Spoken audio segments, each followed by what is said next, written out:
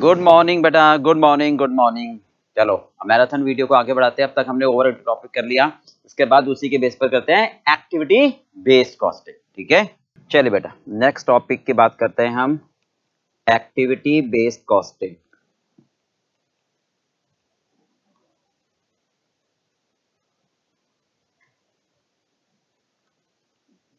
activity based costing ठीक है? ABC कहते हैं इसको। ओवरहेड का एक रिफाइंड फॉर्मेट है, संशोधित फॉर्मेट है। ओवरहेड के टॉपिक में जो कमी थी, वो यहाँ पर दूर करनी है। क्या मतलब? ध्यान से देखो। ओवरहेड के टॉपिक में अभी हमने क्या सीखा था कि सर, सारे खर्चे कंपनी के ओवरहेड बात आ रही है फिक्स्ड ओवरहेड की, बात आ रही है टोटल कॉस्ट निकालने की।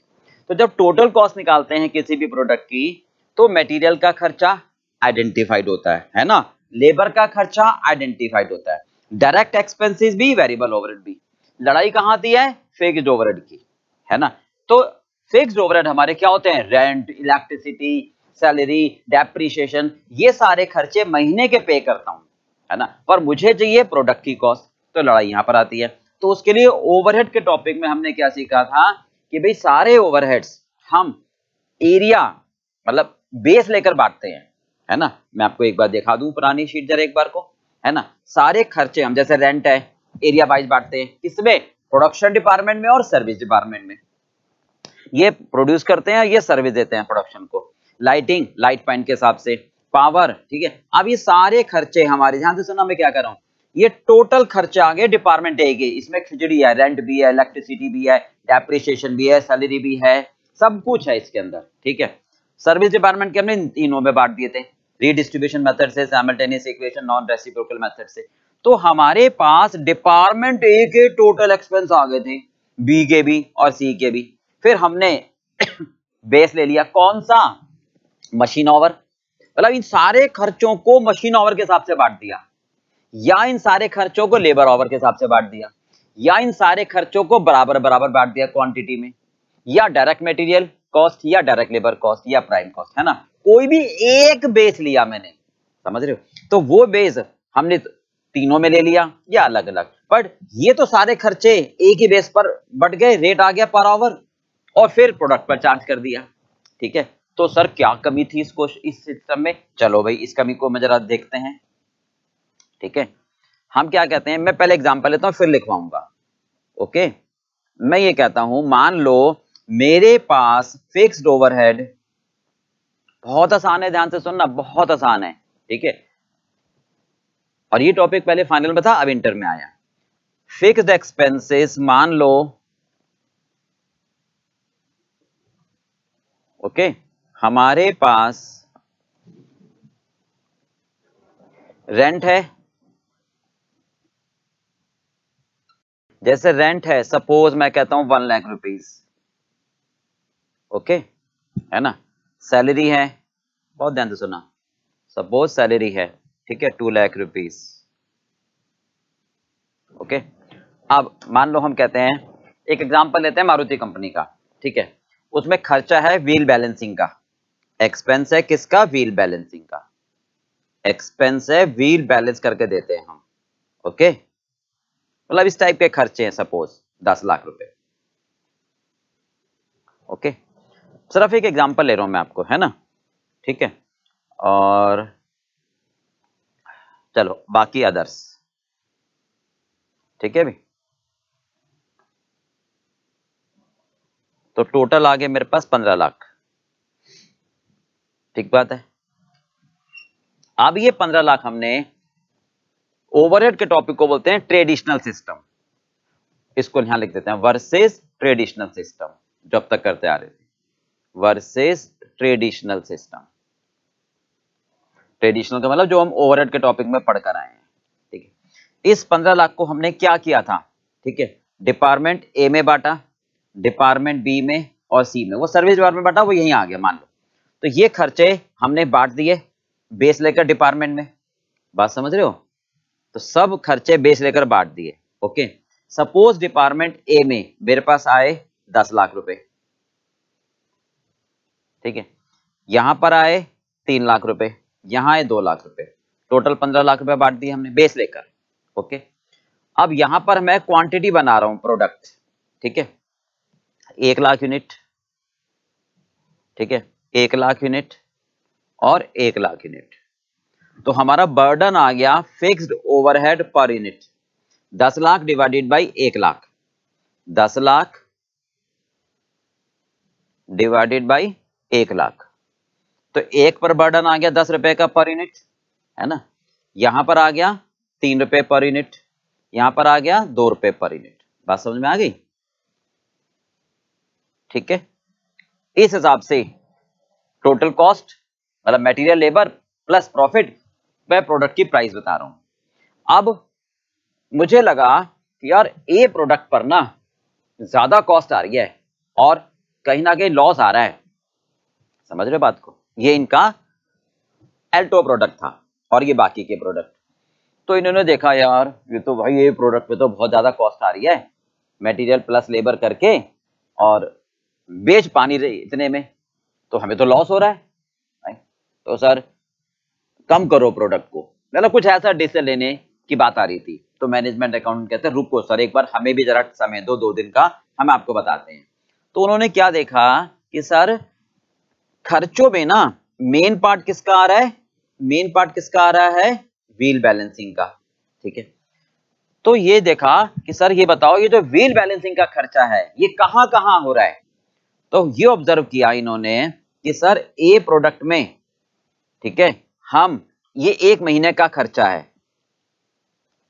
हम ए प्रोडक्ट में बी प्रोडक्ट में सी प्रोडक्ट में, कुल मिलाकर 100 बार व्हील बैलेंसिंग करते हैं। हंड्रेड बार व्हील को बैलेंस करते हैं तीनों प्रोडक्ट में। समझ रहे हो? और ए में तो हम करते ही नहीं है। ज़रूरत ही नहीं होती। ठीक है? बी में हम करते हैं। बी में हम करते हैं साठ बार और सी में करते हैं चालीस बार। समझ रहे हो?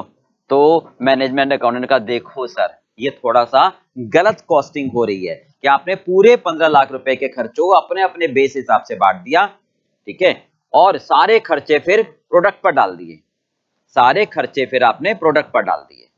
तो कहीं ना कहीं ये एक तरीके से मिस अप्रोप्रिएट हो रहा है। यानी ये दो लाख रुपए, ये दो लाख रुपए, ये एक लाख रुपए, ठीक है? अपने रिस्पेक्टिव एक्टिविटी के हिसाब से बांटो। मतलब दस लाख रुपए को पहले आप देखो कि सौ बार के लिए दस लाख रुपए खर्च कर रहे हो। ध्यान से देखना हम क्या करना चाह रहे हैं।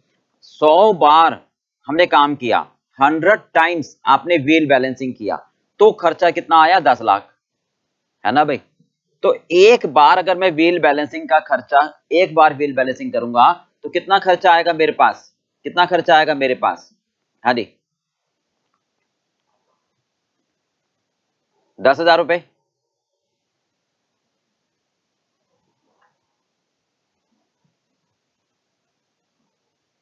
ये आएगा मेरे पास एक बार का खर्चा। ये आएगा मेरे पास एक बार का खर्चा। भाई टोटल आपका दस लाख का खर्चा हुआ। टोटल आपका दस लाख का खर्चा हुआ। है भाई? तो सौ बार के लिए तो एक बार के लिए दस हज़ार। तो इसका मतलब इसका मतलब ए प्रोडक्ट में जब आपकी व्हील बैलेंसिंग हो ही नहीं रही है तो ए में क्यों जाए? और बी में ज़्यादा हो रही है तो बी में ज़्यादा जाए। और सी में कम हो रही है तो कम जाए। इसका मतलब अगर मैं इसको रीशेड्यूल करूँ, इसको अगर मैं रीशेड्यूल करूँ, ठीक है भाई? तो मेरे पास व्हील बैलेंसिंग का खर्चा। तो मेरे पास व्हील बैलेंसिंग का खर्चा ए में नहीं आना चाहिए, है ना? और बी में कितना आना चाहिए? साठ बार का, दस हज़ार के हिसाब से, छह लाख। ठीक है? और सी में आना चाहिए चार लाख।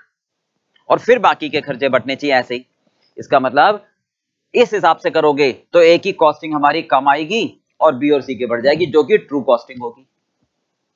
बात समझ में आ गई? तो ऐसे ही तो मैंने एग्ज़ाम्पल लिया सिर्फ़ एक पार्ट का। तो सर इन ऐसे हम क्या करें? डिपार्टमेंट में खर्चों को एक ही रेट से ना बांटे। हम डिपार्टमेंट के खर्चों को बाइफरगेट कर लें एक्टिविटी के हिसाब से और फिर उनको एक्टिविटी के हिसाब से बांटे। यानी जिस प्रोडक्ट में आपकी कोई एक्टिविटी नहीं है, उस प्रोडक्ट में, उस एक्टिविटी का बर्डन नहीं जाना चाहिए।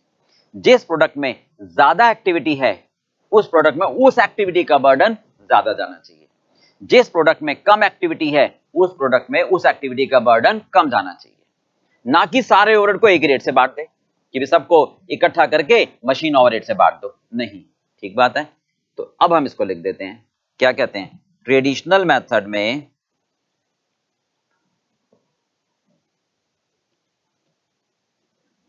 हाँ जी in traditional method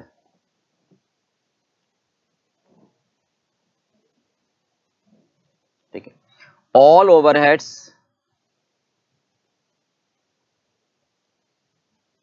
all overheads of a department ठीक है?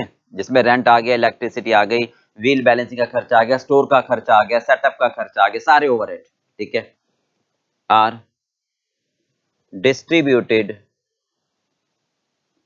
डिस्ट्रीब्यूटेड यानी absorb absorbed on a single basis on a single basis okay सारे खर्चे जोड़कर, ठीक है, वो बांटते हैं बेस वाइज बट वो बेस बहुत ज़्यादा रियलिस्टिक नहीं होते ना। अब जैसे व्हील बैलेंसिंग का था ना मैंने व्हील बैलेंस के हिसाब से बांटा है तो सारा हमने कोई और बेस ले लिया होगा। तो ए में आ गया होगा, ठीक है तो फिर ए में सारे खर्चे मशीन और के हिसाब से बांट दिए होंगे। लेबर ऑवर के हिसाब से एक ब्लैंकेट रेट से बांट दिए होंगे। हमने क्या करा होगा? ब्लैंकेट रेट ले लिया होगा। ठीक है? उस हिसाब से मैंने बांटे होंगे सारे खर्चे। ओके? इसको बोलते हैं ट्रेडिशनल मेथड राइट पर अब हम क्या करते हैं? अब हम क्या करते हैं? एबीसी में। अब हम क्या करते हैं? एबीसी में।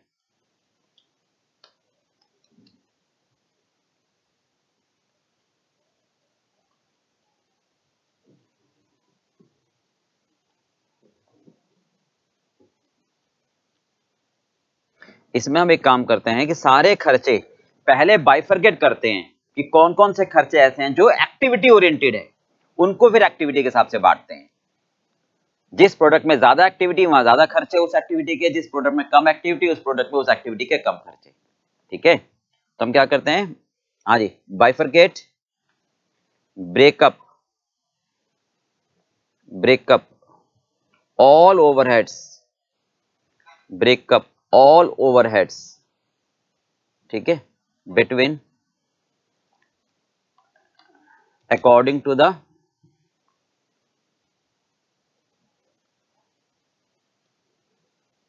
according to their activity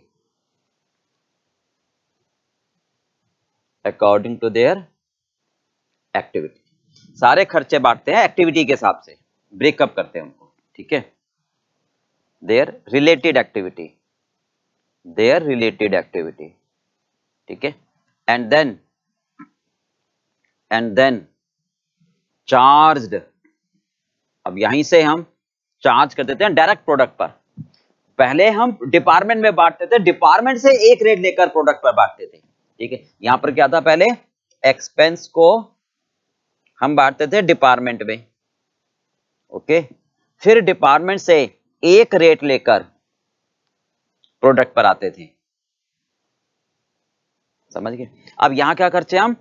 हाँ जी, खर्चों को एक्टिविटी के हिसाब से बांटते हैं and then charge to product product पर चार्ज करो directly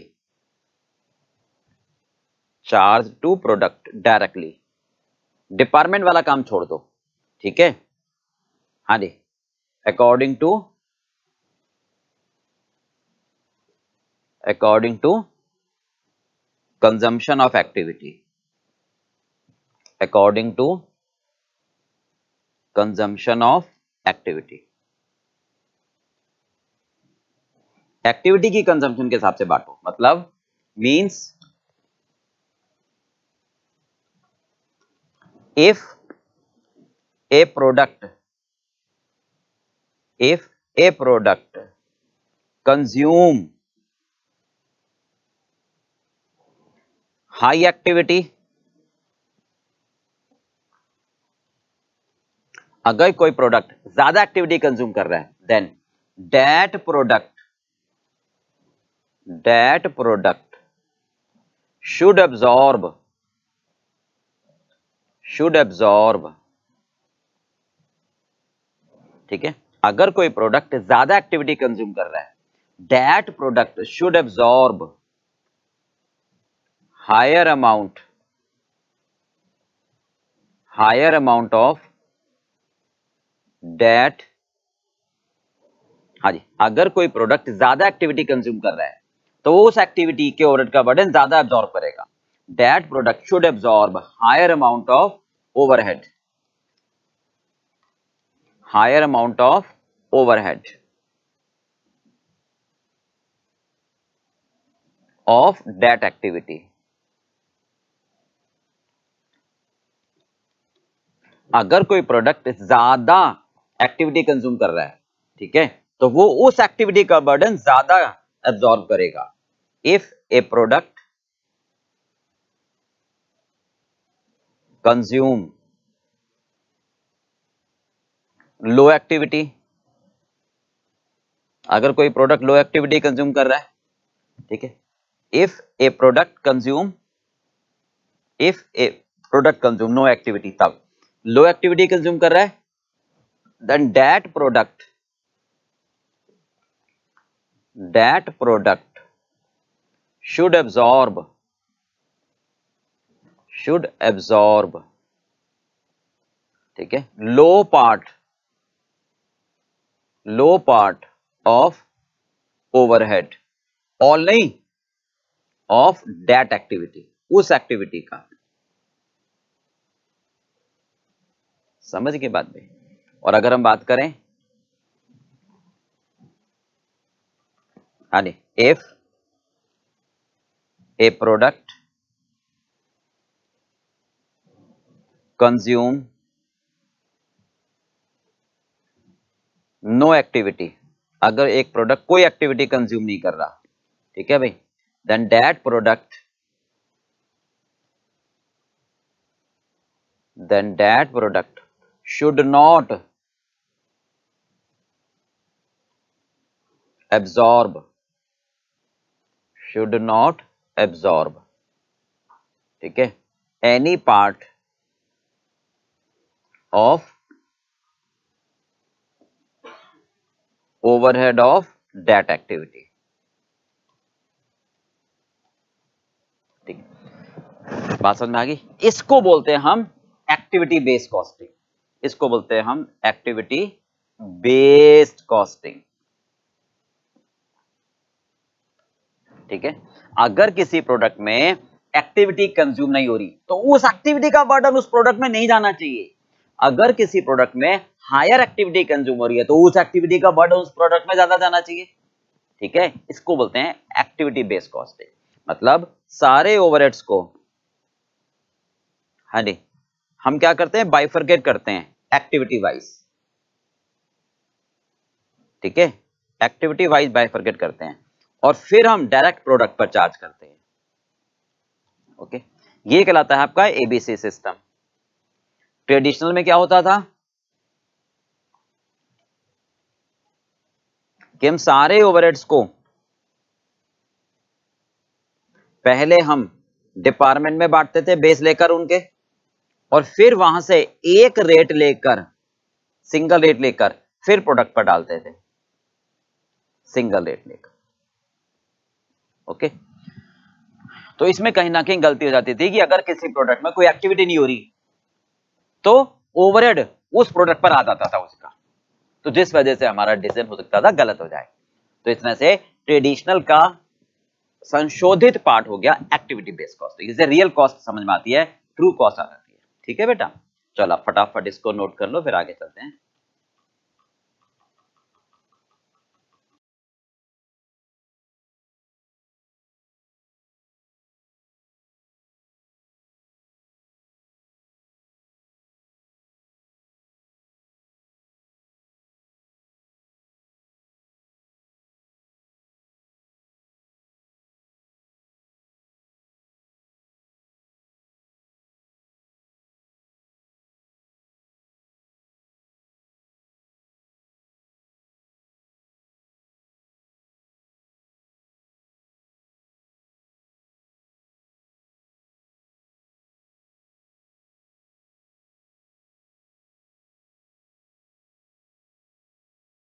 चलिए बेटा, अब एबीसी में खर्चों को हम एक्टिविटी के हिसाब से बाइफर्केट करेंगे, ठीक है? और फिर एक्टिविटी मतलब जिस प्रोडक्ट में ज़्यादा एक्टिविटी उसमें उसका खर्चा ज़्यादा। तो बेस लेके चलेंगे हम एक्टिविटी का ओके तो इस पर्पस के लिए हम खर्चों को एक्टिविटी के हिसाब से बांटेंगे और फिर ये देखेंगे कि वो खर्चा कौन सी एक्टिविटी से रिलेटेड है। ये देखेंगे कि वो खर्चा कौन सी एक्टिविटी से रिलेटेड है, ठीक है भाई? तो ध्यान दे देखो, हम क्या कहते हैं? एक्टिविटी का बेस लेके चलोगे। एक्टिविटी का बेस लेके चलोगे। मतलब जैसे व्हील बैलेंसिंग का है तो कितनी बार व्हील बैलेंसिंग करी? उसके हिसाब से बांटोगे। उसको बोलोगे आप कॉस्ट ड्राइवर उसे क्या बोलोगे आप? कॉस्ट ड्राइवर ठीक है? कोई नया नाम नहीं है कॉस्ट ड्राइवर भाई, जैसे रेंट एरिया वाइज बांटते थे, वो उसको कॉस्ट ड्राइवर ही कह रहे हैं। मतलब जिस बेस पर खर्चों को आप प्रोडक्ट से आइडेंटिफाई करोगे डायरेक्ट उस बेस को कॉस्ट ड्राइवर कहते हैं। क्यों? सर, यह नाम क्यों दिया? ये नाम कैसे पड़ा? ड्राइवर का मतलब क्या होता है? जो गाड़ी चलाता है। मतलब जो पैसेंजर को उसकी मंजिल तक पहुंचाता है, वो ड्राइवर होता है। ड्राइवर मीन्स जो पैसेंजर को उसकी मंजिल तक पहुंचाता है, वो ड्राइवर होता है।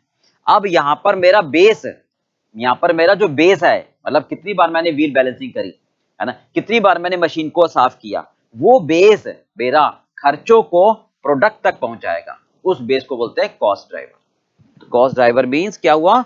Allocation base cost driver means allocation base ठीक है?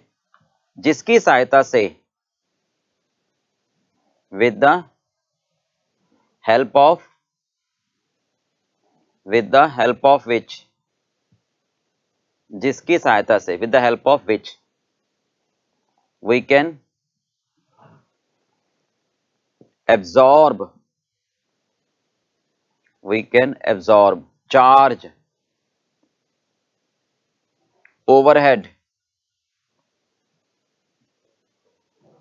of activity overhead of activity to directly to product. मतलब डिपार्टमेंट में नहीं बांट रहा डायरेक्टली प्रोडक्ट पे डाल रहा हूँ। फॉर एग्ज़ाम्पल ध्यान से दोनों जरा। फॉर एग्ज़ाम्पल मैं कहता हूँ, ठीक है सेटअप का खर्चा है। अब ये ध्यान से सुनते चले जाना। सेटअप का खर्चा है। सर जी सेटअप होता क्या? पहले तो ये बताइए। मशीन की ऑयलिंग क्लीनिंग ग्रीसिंग भाई जब ऑपरेटर मशीन पर बैठता है तो लो भाई पहले साफ़ करूँ मैं। पहले पूरा कपड़ा साफ़ करूँ, कपड़े से मशीन को, उसमें ऑयलिंग करूँ ग्रीसिंग करूँ, और फिर टेस्ट रन करके फिर देखूँ मशीन इज़ रेडी नहीं तो मेरा मेटेरियल खराब हो जाएगा। ठीक है? वो सेटअप करके लाता है ऑयलिंग क्लीनिंग और ग्रीसिंग तो अब मैंने ए प्रोडक्ट बनाना है, उसके सौ यूनिट उससे पहले मैं मशीन को साफ़ कर रहा हूँ। यानी जितनी ज़्यादा बार मैं मशीन को साफ़ करूँगा, उतनी ज़्यादा बार खर्चा आएगा। तो जिस प्रोडक्ट के लिए, जिस प्रोडक्ट के लिए जितनी ज़्यादा बार साफ़ करोगे उस प्रोडक्ट पर उतना ज़्यादा बर्डन आएगा। तो उसको बोलते हैं नंबर ऑफ़ सेटअप इसे क्या बोलोगे? नंबर ऑफ़ सेटअप के हिसाब से बांट दोगे।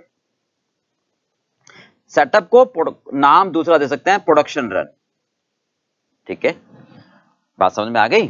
मतलब क्या हुआ? जैसे मान लो ए प्रोडक्ट है, ठीक है? ए के बना रहा हूँ मैं हंड्रेड यूनिट बी के बना रहा हूँ मैं दो सौ यूनिट ओके तो ए के सौ यूनिट बनाने के लिए ए के सौ यूनिट बनाने के लिए मैंने मशीन को दस बार साफ़ किया। बी के 200 बनाने के लिए बी के 200 बनाने के लिए मैंने मान लो तीस बार साफ़ किया, ठीक है, या मान लो मैंने पाँच बार साफ़ किया, ओके, और सी के भी बनाए मैंने 400 यूनिट। उसके लिए मैंने मशीन को साफ़ नहीं किया, उसमें ज़रूरत नहीं थी। तो भाई जो सेटअप का खर्चा होगा, है ना, वो कुल मिलाकर हम कहेंगे कि पंद्रह बार आपने साफ़ किया मशीन को। तो पंद्रह हज़ार का, डेढ़ लाख का खर्चा आया सपोज़ तो एक बार के लिए दस हज़ार। पंद्रह बार मशीन को साफ़ किया तो डेढ़ लाख का खर्चा आया। तो एक बार के लिए दस हज़ार। तो दस बार साफ़ किया तो एक लाख का खर्चा। पाँच बार साफ़ किया पचास हज़ार। समझ में आके बात देखिए तो आप ए में डायरेक्ट बांट दोगे एक लाख बी में डायरेक्ट बांट दोगे पचास हज़ार। सी में नहीं बांटोगे आगे बात समझ ये, ऐसे बांट रहे हम। ठीक है भाई? तो मैं इसको बोल देता हूँ एक्टिविटी इसे मैं बोल देता हूँ एक्टिविटी ओके? इसको बोल देता हूँ बेसिस इस आधार पर बांटोगे। डायरेक्ट टू प्रोडक्ट यानी कॉस्ट ड्राइवर यानी कॉस्ट ड्राइवर सर जी, ये हमें ध्यान रखने पड़ेंगे क्या? नॉर्मल क्वेश्चन में दिए होंगे बट फिर भी आपको समझना तो चाहिए ना। ठीक है भाई?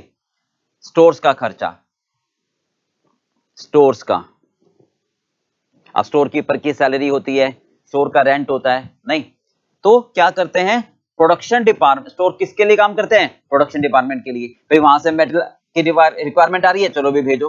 तो जिस प्रोडक्ट के लिए जितनी ज़्यादा बार मैं मंगा रहा हूँ, यानी स्टोर उसके लिए उतना खर्चा कर रहा है तो क्या बेस बनना चाहिए? Number of requisition number of requisition समझ रहे हो? ये दिमाग में बताने देना, सर, ऐसे बेस तो हमने ओवरहेड में भी लिए थे। वो बेस लेकर आपने क्या करा? डिपार्टमेंट में डाल दिए। डिपार्टमेंट में डाल दिए। और डिपार्टमेंट के सारे खर्चे जोड़कर एक रेट से बांट दिए प्रोडक्ट पर। तो प्रोडक्ट पर तो गलत आ गए ना। अब यहाँ बेस लेकर डायरेक्ट प्रोडक्ट पर डाल रहा हूँ मैं। समझ में आ गई? नंबर ऑफ़ रिक्विजिट समझते हो ना कि प्रोडक्शन डिपार्टमेंट जितनी बार स्टोर से माल मंगाएगा। ठीक है भाई? या फिर हम कह सकते हैं number of batch number of batch जिसमें बनाते हैं गुड्स रॉ मटेरियल मतलब एक लॉट में सौ बना रहे हैं, दो सौ बना रहे हैं तो जितने ज़्यादा लॉट में बना रहे हैं, उतने ज़्यादा स्टोर का खर्चा बटेगा। ठीक है? Material handling material handling material handling का मतलब मेटेरियल को जब हम हैंडल करते हैं पर्टिकुलर है तो स्टोर का ही पार्ट बट स्पेसिफिकली दिया हो कि भाई स्टोर का रेंट अलग है स्टोर कीपर की सैलरी अलग है, ठीक है? मेटेरियल को हैंडल करने का खर्चा अलग है, ठीक है? तो हम देखेंगे कि अच्छा मेटेरियल को हैंडल करने के लिए अलग से बंदा है तो जिस प्रोडक्ट में ज़्यादा हैवी मेटेरियल है, उसके लिए खर्चा ज़्यादा, उसके लिए खर्चा ज़्यादा, यानी weight of quantity of raw material नहीं ठीक है? इन प्रोडक्शन इन प्रोडक्ट यानी किसी भी प्रोडक्ट में अगर रॉ मेटेरियल का वेट ज़्यादा है तो उसके लिए ज़्यादा खर्चा होगा। कई बार वेट ना हो तो फिर कॉस्ट ले लेंगे। इसका मतलब सब में वेट बराबर रेट के हिसाब से चार्ज कर लो फिर आप। ठीक बात है भाई? फिर आप रेट के हिसाब से चार्ज कर लो। ठीक है? हाँ जी ऑर्डरिंग का खर्चा। ऑर्डरिंग नहीं भाई? रिसीविंग मटेरियल कॉस्ट ऑर्डरिंग कहें या रिसीव कर रहे हैं मटेरियल बताओ जरा सोच के बताओ। अब तो आप समझदार हो गए। मटेरियल का ऑर्डर दिया है मैं रिसीव कर रहा हूँ नहीं? तो जिस प्रोडक्ट के लिए मैंने ज़्यादा ऑर्डर दिए उस, उस पर मैं ज़्यादा बार खर्च करूँगा? बात समझ रहे हो? यानी number of purchase order number of purchase order number of purchase order समझ गए? भाई, जैसे मैं कह रहा हूँ ए है बी है है ना? इसके मैं बना रहा हूँ दस हज़ार यूनिट इसके बना रहा हूँ बीस हज़ार यूनिट ठीक है? इसके लिए मैं सप्लायर को एक ऑर्डर देता हूँ बस. ओके और इसके लिए मैं नौ ऑर्डर दे रहा हूँ. बात समझ में आ गई? तो दस बार ऑर्डर का खर्चा जो होगा, वो वन इज़ टू नाइन की रेट में बढ़ जाएगा। ऐसे कहना चाहिए ठीक बात है भाई। यह है एक्टिविटी के हिसाब से खर्चे। यार हमारे एक्टिविटी के हिसाब से खर्चे। क्लियर हो पार्ट भाई? हाँ जी। अगर कोई मशीन का खर्चा है डायरेक्ट तो वो मशीन और के हिसाब से बांट दो।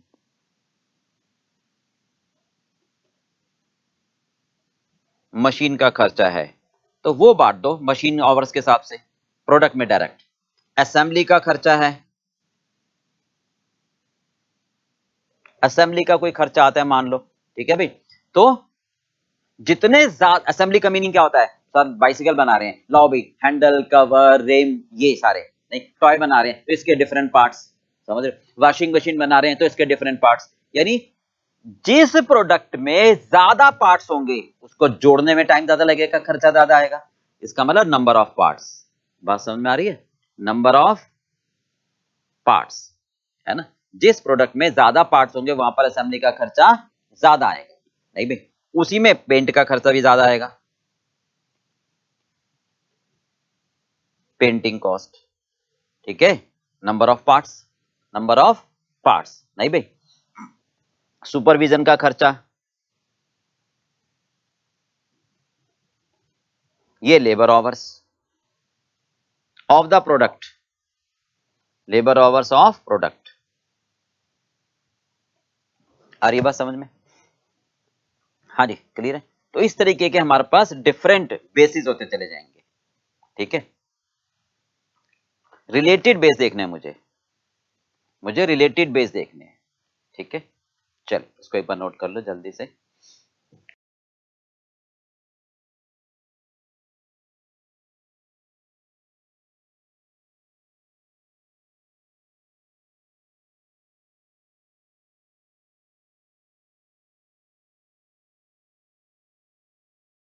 अच्छा ऐसे ही इंस्पेक्शन का खर्चा।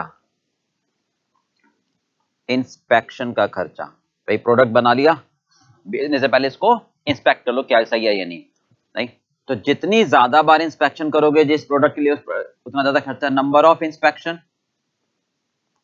number of inspection जिस प्रोडक्ट को, मैं कहता हूँ, यार तो भेज दो, इसमें इंस्पेक्शन की आवश्यकता नहीं है तो उस प्रोडक्ट पे नहीं जाएगा, ठीक है? अच्छा कई बार इंस्पेक्शन बराबर तो होते हैं, पर किसी में टाइम ज़्यादा लग जाता है। जैसे मैं बात करूँ ए में भी दस इंस्पेक्शन और बी में भी दस इंस्पेक्शन पर ए के एक इंस्पेक्शन पर दस घंटे लग रहे हैं तो सौ घंटे हो गए। बी के एक इंस्पेक्शन पर पचास घंटे लग रहे हैं तो पाँच सौ घंटे हो गए, है ना? तो है तो इंस्पेक्शन बराबर, पर घंटे ज़्यादा हो गए। तो फिर मैं यहाँ कहूँगा इंस्पेक्शन आवर्स यहाँ कहूँगा इंस्पेक्शन आवर्स ओके चलिए। इस तरह से रिलेटेड बेस मुझे देखने होते हैं राइट भाई? अब इसमें हम क्या करते हैं? प्रोडक्ट की कॉस्ट के लिए दो स्टेप होते हैं हमारे पास। प्रोडक्ट की कॉस्ट के लिए दो स्टेप होते हैं, ठीक है? In ABC for calculating for calculating product cost for calculating product cost ठीक है we should follow the following steps okay चल फ़र्स्ट बनाते हैं हम कॉस्ट पूल फ़र्स्ट बनाते हैं हम statement of cost pool first बनाते हैं हम statement of cost pool second बनाते हैं हम स्टेटमेंट ऑफ़ कॉस्ट ओके अब कॉस्ट पूल कैसे बनाते हैं वो देखो जरा फटाफट से. हाँ जी कॉस्ट पूल कैसे बनाओगे अब आप?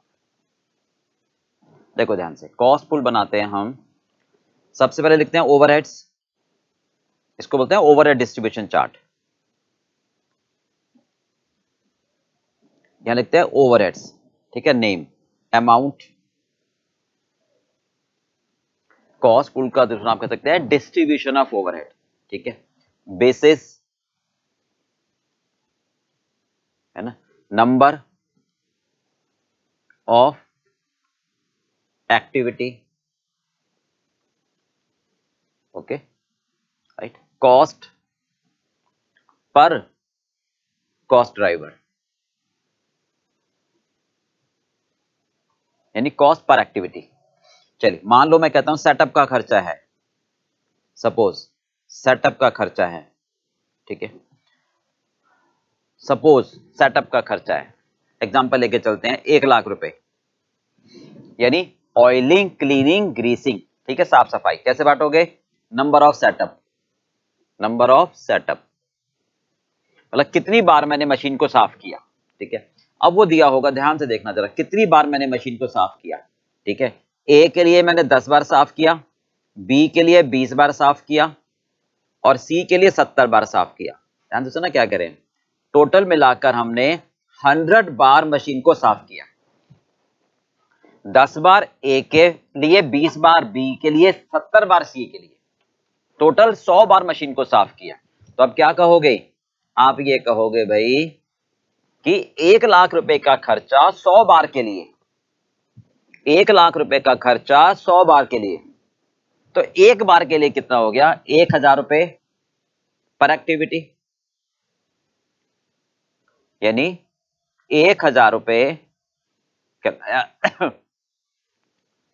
पर एक्टिविटी। एक हज़ार रुपए का लाया पर एक्टिविटी बोलो क्लियर तो ए में कितना जाएगा?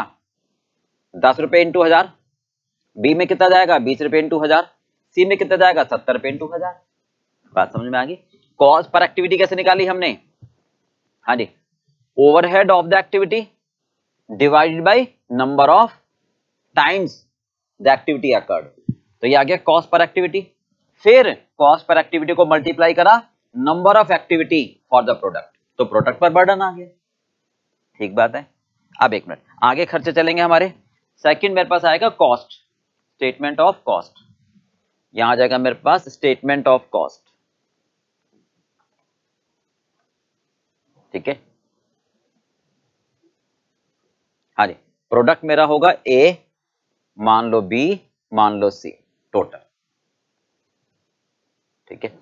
मटेरियल आपके पास आइडेंटिफाइड होगा, कोई लड़ाई होती नहीं है। मटेरियल मेरे पास आइडेंटिफाइड होगा। लेबर मेरे पास आइडेंटिफाइड होगा। लेबर मेरे पास आइडेंटिफाइड होगा। ठीक है? अब ओवरहेड्स। ओके? आज ये कर रहे हैं हम एज पर एबीसी ध्यान रखना। तो यहाँ लिखेंगे एज पर एबीसी सेटअप का खर्चा। कैसे बांटा? है नंबर ऑफ़ सेटअप देखो ध्यान से। फॉर एग्ज़ाम्पल क्या कहूँगा मैं? मैं क्या कहूँगा यहाँ पर? एक हज़ार रुपए पर एक्टिविटी यानी एक हज़ार रुपए पर सेटअप एक हज़ार रुपए पर सेटअप ठीक है? तो एक हज़ार इंटू दस, एक हज़ार इंटू दस ए में आ जाएगा। एक हज़ार रुपए एक सेटअप का खर्चा, दस सेटअप का। एक हज़ार रुपए इंटू बीस सेटअप एक हज़ार रुपए इंटू तीस सेटअप बोलो, समझ में आ गई बात? तो ये पूरा खर्चा मेरे पास आ गया जो मुझे बांटना था, एक लाख रुपए। बोलो क्लियर फॉर्मूले के हिसाब से चलोगे तो क्या कहेंगे हम? कॉस्ट पर एक्टिविटी मैंने कैसे निकाला है? कॉस्ट पर एक्टिविटी मैंने कैसे निकाला है? कॉस्ट पर एक्टिविटी हमने निकाला है overhead of that activity overhead of that activity ठीक है divided by number of times divided by number of times occurred that activity in the period in that period उस पीरियड में वो एक्टिविटी कितनी बार अकर्ड हुई? मान लो मैं महीने का खर्चा ले रहा हूँ तो महीने की एक्टिविटी साल का खर्चा ले रहा हूँ, साल की एक्टिविटी ठीक है? ये आ जाएगा कॉस्ट पर एक्टिविटी जैसे आपने कहा सेटअप का खर्चा आया एक लाख रुपए। सौ बार के लिए। तो आपके पास आ गया हज़ार रुपए पर सेटअप हज़ार रुपए पर सेट ठीक है? अब इसके बाद, ठीक है? Cost of overhead for product for product कैसे कहोगे? Cost per activity cost per activity आ गई। Cost per activity multiply number of activity से समझना। नंबर ऑफ़ एक्टिविटी यहाँ टोटल आ रहा है। Total number of activities total number of times occurred that activities that activities. ठीक है? यहाँ पर नंबर ऑफ़ एक्टिविटी, ठीक है, कंज्यूम्ड इन ए प्रोडक्ट। मतलब हज़ार रुपए एक एक्टिविटी का खर्चा तो नंबर ऑफ़ एक्टिविटी कितने आ गए दस। तो ए में आ जाएगा। ठीक है? एक हज़ार पर एक्टिविटी, नंबर ऑफ़ एक्टिविटी 20 तो बी में आ जाएगा। 1000 पर एक्टिविटी नंबर ऑफ़ एक्टिविटी 70 तो सी में आ जाएगा। बोलो, समझ में बात भी? तो ये हमारा प्रोसेस रहेगा। तो तीन पार्ट मैंने आपको समझा दिए। ऐसे सारे खर्चे बांटने हैं मुझे। ऐसे ही मुझे सारे खर्चे बांटने हैं। ठीक है चलिए, एक बार इसको पहले आप नोट कर लो सीक्वेंस में। फिर मैं आगे चलता हूँ। करो जल्दी से।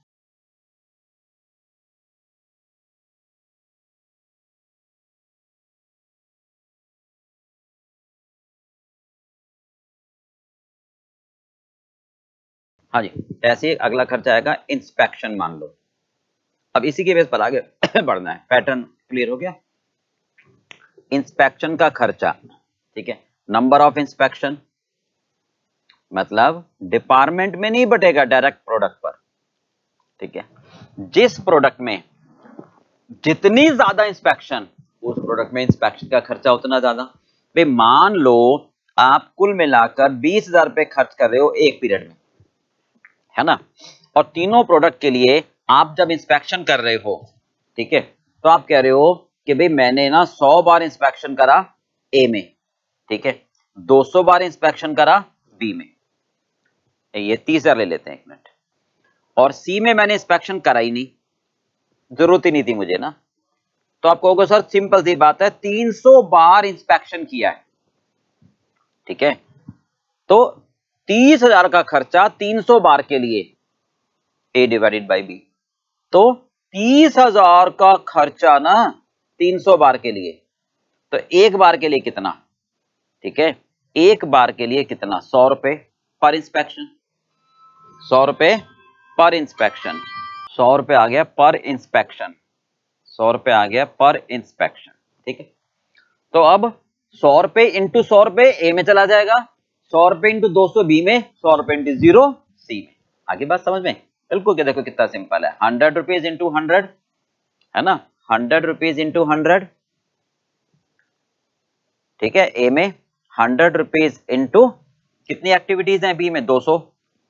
बी में 200 सी में नहीं है। तो कुल मिलाकर तीस रुपए बांट दिया आपने।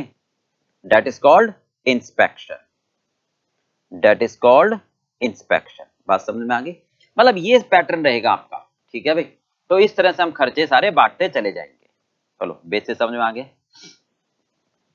क्लियर पार्ट भी तो ये सारे खर्चे हम इस तरीके से बांटते चले जाएँगे, ठीक है? और यहाँ पर हमारे पास आ जाएगी कॉस्ट यहाँ पर हमारे पास आ जाएगी कॉस्ट ओके? फिर क्वांटिटी से डिवाइड कर दोगे पर यूनिट आ जाएगा। Total cost divided by quantity total cost divided by quantity okay तो वो आ जाएगा लास्ट में कॉस्ट पर यूनिट ये मेरा ए ये मेरा बी ओके चलो. राइट भाई? चलो, अब एक बार इसको नोट कर लो, फिर आप, हम इस पर क्वेश्चन करते हैं आगे. चलिए चले बेटा क्वेश्चन नंबर फाइव एक बार रीड करो, ठीक है? वीडियो को पॉज करके, ताकि आप एक बार पढ़ो, फिर जब हम पढ़ाएँगे तो समझ में आ जाएगा. ठीक है? करो क्वेश्चन नंबर फाइव चलिए बेटा, ये क्वेश्चन नंबर वन है आपके स्टडी मेटेरियल का प्रैक्टिकल प्रॉब्लम में पेज नंबर 5.3 पर। ये आपके स्टडी मेटेरियल पर पेज नंबर 5.3 पर प्रैक्टिकल क्वेश्चन में जो सेल्फ एग्जामिनेशन वाले होते हैं, उनका क्वेश्चन नंबर वन है। ठीक है? मिल गया? चलो, अब एक बार देखते हैं क्या कहते हैं।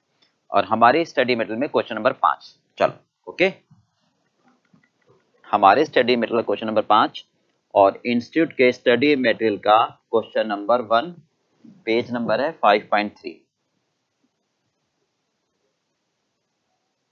पढ़े हम, चलो। क्या कहता है ये? Wool mark limited manufacturers three type of product P Q R तीन प्रोडक्ट बनाते हैं। अब इनके लिए डाटा दिया पीरियड का। मशीन ओवर्स पर यूनिट ध्यान से पढ़ना बहुत आसान है, बस पढ़ना ध्यान से है। एक यूनिट को बनाने में मशीन के 10 घंटे लगेंगे 18 14 बहुत बढ़िया। Labour hours per unit labour चार घंटे लेगा 12 8 ये लेबर के हैं। और मटेरियल पर यूनिट दे रखा है। अच्छा प्रोडक्शन 3000 ए बनाऊँगा 5000 बी 20000 सॉरी 3000 पी 5000 क्यू बीस हज़ार आ। ये बनाऊँगा मैं प्रोडक्ट। करंटली अभी company uses traditional costing method. इसका मतलब सारे खर्चे भी एक रेट से बांट रहा हूँ डिपार्टमेंट के। Absorb all production overheads on basis of machine hours इसका मतलब है, मैंने सारे खर्चे, ध्यान से सुना पीछे जाओ जरा रेंट इलेक्ट्रिसिटी ठीक है सैलरी डेप्रिशिएशन वो बांट दिए होंगे डिपार्टमेंट में सर्विस में भी सर्विस के प्रोडक्शन में। फिर जब प्रोडक्शन के सारे खर्चे आगे होंगे ना, वो मशीन आवर्स पर बांट रहा हूँ मैं, ये कह रहे हैं, ठीक है? चल। Machine hours rate of overhead छह रुपए पर आवर इसका मतलब करंट सिस्टम में, ठीक है? हमारे पास मशीन ओवर रेट कितना आ रहा है? छह रुपए। एक घंटे का। एक घंटे का छह रुपए। तो ये छह रुपए कैसे आया होगा? All overheads divided by machine hours all overheads divided by machine hours तो छह रुपए आया होगा। है ना भाई? ठीक है? अच्छा लेबर का रेट है बीस रुपए। चल। तो हम मशीन ओवर्स निकाल लेंगे। कैसे देखो? एक बनाने में दस घंटे चाहिए तो तीन हज़ार में तीस हज़ार। एक बनाने में अठारह तो पाँच हज़ार में नब्बे हज़ार। एक बनाने में चौदह तो बीस हज़ार में कितने? तो तीस हज़ार घंटे आ गए। मशीन आवर्स नब्बे हज़ार घंटे आ गए। और दो लाख अस्सी हज़ार घंटे आ गए। ठीक है भाई? तो टोटल मिलाकर नब्बे और तीस, एक बीस और ये हो गए चार लाख घंटे। तो इसका मतलब ओवरहेड का खर्चा आ गया चौबीस लाख रुपए। ठीक है? चलो। Company proposes to use activity based costing. Activity analysis उसने भाई दे दिया, लो वे लो। क्या कह रहा है? बैच साइज़, अब थोड़ा ध्यान से पढ़ना। बैच का साइज़ मतलब डेढ़ सौ यूनिट, पाँच सौ, एक हज़ार। क्या मतलब है इसका? पी प्रोडक्ट के मैं तीन हज़ार बनाऊँगा।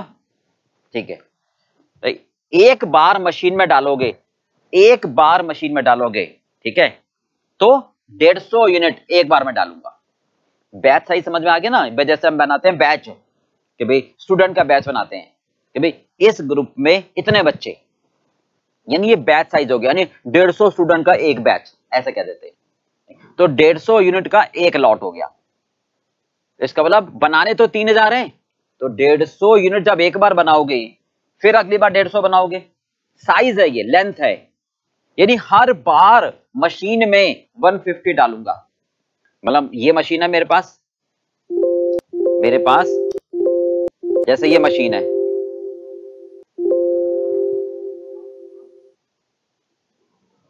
मेरे पास जैसे ये मशीन है। अब इसमें मैंने 150 यूनिट डाल दिए पी के, ठीक है? बन गए। एक बार में इससे ज़्यादा नहीं बनेंगे, क्योंकि मशीन इतनी बड़ी नहीं है ना। फिर अगली बार फिर 150 डाले, फिर बन गए। फिर अगली बार डेढ़ सौ डाले, फिर बन गए। समझ रहे हो? एक बार में मैं मशीन में एक सौ पचास से ज़्यादा नहीं डाल सकता पी प्रोडक्ट के, क्योंकि मशीन इतनी मोटी नहीं है। ये मतलब हुआ। तो मुझे बनाने तीन हज़ार है। तो बताओ कितनी बार मैं पी के यूनिट बनाऊँगा? यानी तीन हज़ार डिवाइडेड बाई डेढ़ सौ। तीन हज़ार डिवाइडेड बाई डेढ़ सौ। कितने आ गए? हाँ जी, इसका मतलब बीस बार मैं मशीन को साफ़ करूँगा, ऐसे कह लो। यानी ट्वेंटी सेटअप हो गए। बात समझ में आगे ऐसे ही 500 एक बार में बनाओगे। 500 एक बार में बनाओगे। तो 5000 को बनाने के लिए कितनी बार मशीन को साफ़ करोगे? कितनी बार? 10 बार। 1000 एक बार में बनाओगे। 20000 बनाने के लिए 20 बार मशीन को साफ़ करोगे। ठीक है? चलिए। बैच का साइज़ का मतलब लेंथ इतने यूनिट एक बार में बन जाएँगे। इतने यूनिट एक बार में बन जाएँगे। नंबर ऑफ़ परचेज ऑर्डर अच्छा एक एक बैच एक बैच के लिए तीन ऑर्डर है ना? तो मान लो पी के लिए कितने लॉट बना रहे हैं हम? पी के लिए कितने लॉट बना रहे हैं हम? पी प्रोडक्ट के लिए हम कितने लॉट बना रहे हैं? नहीं भाई, बीस लॉट यानी बीस बार मैं पी प्रोडक्ट का काम कर रहा हूँ। तो एक लॉट के लिए तीन बार खरीद रहे हो। तो बीस के लिए आप साठ बार खरीदोगे। ठीक है? Number of inspection per batch यानी एक बैच बन गया, डेढ़ सौ यूनिट का एक बैच बन गया लो भाई चेक करो। फिर डेढ़ सौ का बैच बन गया, फिर एक चेक करो। तो डेढ़ सौ यूनिट का बैच, डेढ़ सौ डेढ़ सौ यूनिट का एक बैच तो उस एक बैच, उस एक बैच को चेक करोगे फिर आप, ये कहना चाह रहे हैं। तो क्या कहना चाह रहे हैं? Number of inspection per batch नहीं, एक बैच के लिए पाँच इंस्पेक्शन तो कितने बैच है मेरे पास? बीस बैच है तो कुल मिलाकर सौ इंस्पेक्शन हो जाएँगे। ठीक है? यानी जब एक बैच बन गया, डेढ़ सौ यूनिट का एक बैच बन गया डेढ़ सौ यूनिट का। तो मैंने पाँच बार उसको चेक किया।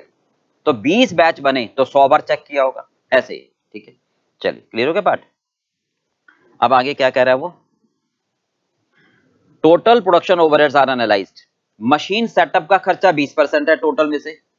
टोटल मेरा खर्चा कितना आया था मैंने अभी आपको बताया है। 24 लाख। चार लाख इंटू छह, चौबीस लाख, है ना? तो 24 लाख को 20 परसेंट तो आया। मशीन को सेटअप का खर्चा मतलब मशीन की साफ़ सफ़ाई का खर्चा 20 परसेंट। ठीक है भाई? कैसे बांटोगे? नंबर ऑफ़ सेटअप कैसे बांटोगे? Number of setup machine operation cost 30 percent है। चौबीस लाख का तीस परसेंट। कैसे बांटोगे? मशीन को ऑपरेट कर रहे हैं, यानी machine hours inspection cost number of inspection जितनी ज़्यादा बार इंस्पेक्शन करूँगा, उतना इंस्पेक्शन का खर्चा ज़्यादा आएगा। मेटीरियल प्रोक्यूरमेंट कॉस्ट खरीदने का नंबर ऑफ़ परचेज ऑर्डर जिसके लिए ज़्यादा ऑर्डर उसके लिए खर्चा ज़्यादा। भाई, जितने ऑर्डर ज़्यादा दोगे ऑर्डरिंग का खर्चा उतना ज़्यादा आएगा।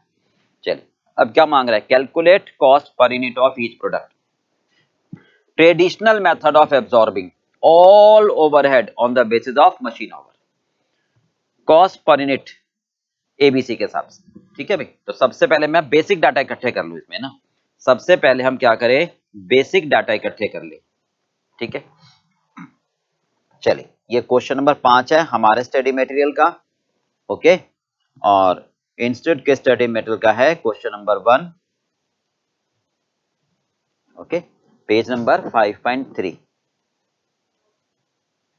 ये इंस्टीट्यूट के स्टडी मेटल का पेज है, हमारे स्टडी मेटल का क्वेश्चन नंबर पाँच। तो सबसे पहले मैं एक काम करता हूँ बेसिक डाटा इकट्ठे कर लेता हूँ। फिर काम करना आसान हो जाएगा आपके लिए। तो सबसे पहले कह रहा था वो मशीन ओवर रेट सबसे पहले कह रहा था वो मशीन ओवर रेट कितना आया मशीन ओवर रेट हाँ जी। मशीन ओवर रेट कितना आ रहा है? देखो जरा, छह रुपये है। हाँ जी मशीन ओवर रेट कितना है हमारे पास? हाँ जी मशीन ओवर रेट छह रुपये पर आवर है। मशीन ओवर रेट है, छह रुपये पर आवर दे रखा है भाई ने। कैसे निकालते हैं इसको? ऑल ओवरहेड्स ऑल ओवरहेड्स ठीक है? Divided by total machine hours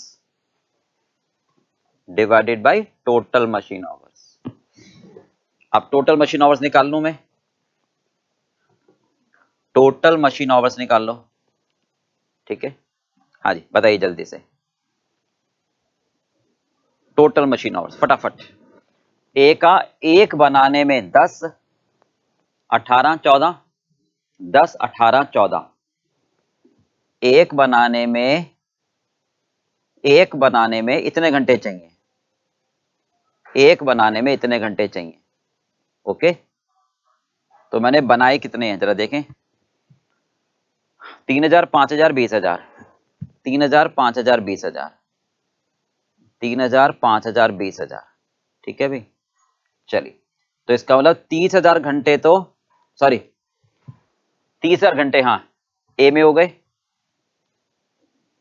अठारह, एक, अठारह घंटे, एक यूनिट में तो पाँच हज़ार में नब्बे हज़ार हो गए। एक में चौदह घंटे हैं तो बीस हज़ार में दो लाख अस्सी हज़ार घंटे हो गए। तो टोटल मेरे पास हो गए हाँ जी, चार लाख घंटे।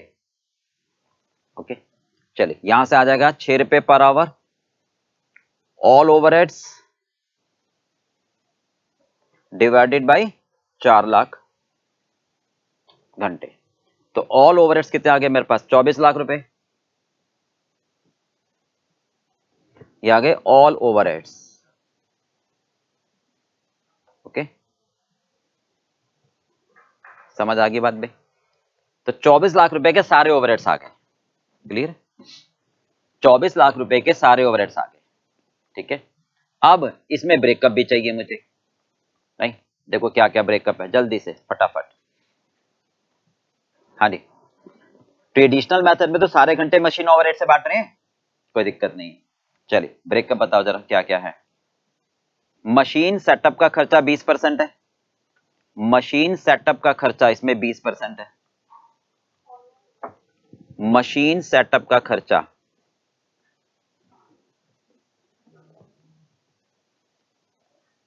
मशीन सेटअप का खर्चा।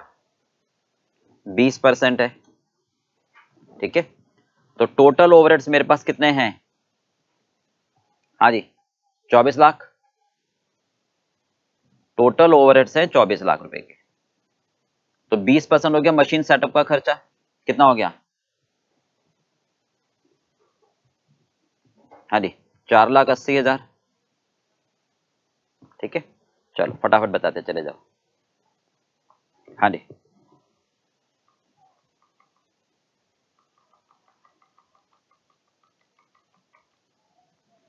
मशीन ऑपरेशन तीस परसेंट है। मशीन ऑपरेशन तीस परसेंट है। तीस, चालीस, दस। तीस,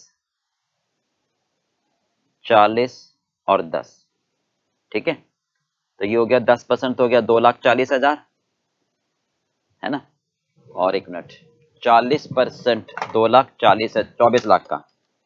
चौबीस लाख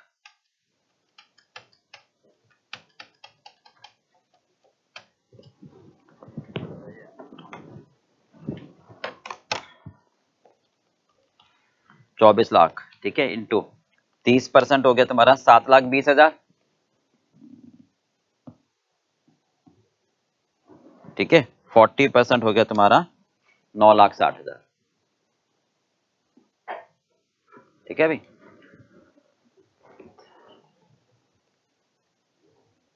चलिए, अब ये एक बार कैटेगरी लिख लो जरा, तीस परसेंट किसका है?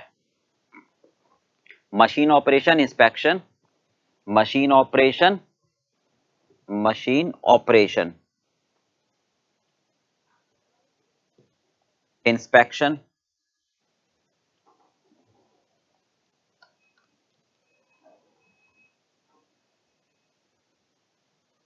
machine operation, फिर इंस्पेक्शन और फिर material procurement.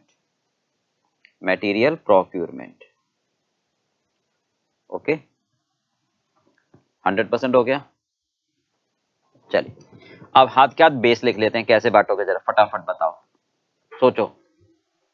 मशीन सेटअप, यानी सेटअप क्या होता है? Oiling, cleaning, greasing. मशीन को साफ़ करते हैं नहीं? तो जितनी ज़्यादा बार साफ़ करोगे, उतना खर्चा आएगा। Number of setup, number of setup, okay? चल मशीन ऑपरेशन ऑपरेट कर रहे हैं, मशीन आवर्स ना जितने ज़्यादा घंटे मशीन काम करेंगे ऑपरेशन का खर्चा उतना ज़्यादा आएगा। इंस्पेक्शन नंबर ऑफ़ इंस्पेक्शन जितनी बार इंस्पेक्शन जिसमें ज़्यादा करोगे, उस पर उतना बर्डन ज़्यादा आएगा। प्रोक्यूरमेंट मटेरियल प्रोक्यूर कर रहे हैं, जितनी ज़्यादा बार, यानी number of order number of order जितने ज़्यादा बार ऑर्डर दोगे, उतना प्रोक्यूरमेंट का खर्चा ज़्यादा आएगा। क्लियर भी अब एक एक करके बेस को देख लेते हैं। चल, एक बार इसको नोट कर लो जल्दी से। फटाफट से।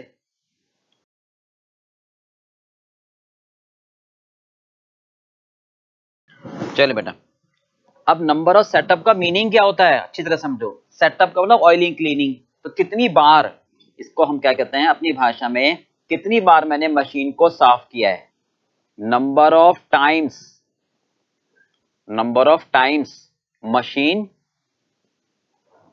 ठीक है वाज क्लीन्ड कितनी बार मैंने मशीन को साफ़ किया है? Okay okay? कितनी बार मैंने मशीन को साफ़ किया है। ये तो मतलब हुआ।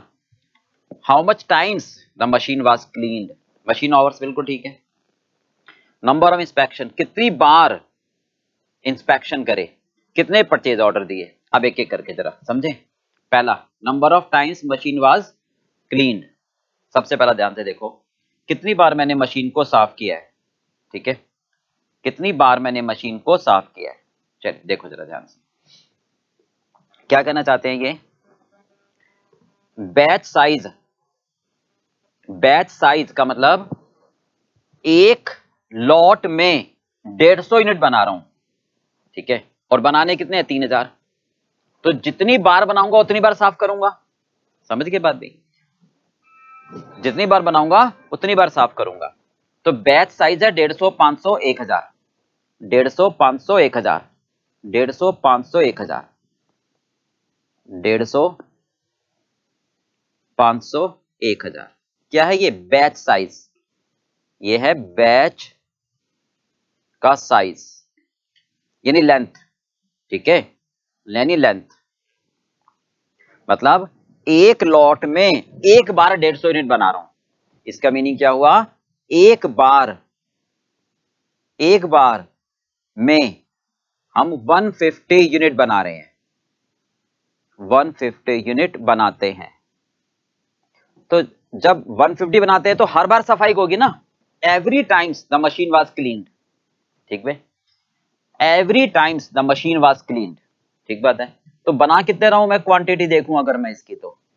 बना कितने रहा क्वांटिटी मैंने ऊपर भी लिखी है, शायद देखो ना। तीन हज़ार, पाँच हज़ार, बीस हज़ार। है ना? तीन हज़ार, पाँच हज़ार, बीस हज़ार। तीन हज़ार पाँच हज़ार, बीस। है मेरी बात समझ में आ रही है? नहीं।